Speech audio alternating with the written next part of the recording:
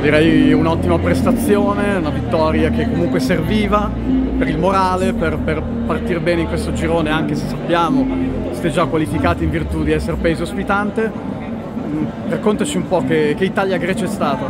È stata comunque una partita tosta, loro sono una squadra molto, molto buona e mm, ovviamente eh, noi è vero siamo già qualificate però volevamo dimostrare comunque che ci meritiamo il posto all'europeo e comunque queste partite è vero eh, per la qualificazione però sono per il ranking dei gironi quindi sono comunque partite importanti che vogliamo giocare al massimo insieme.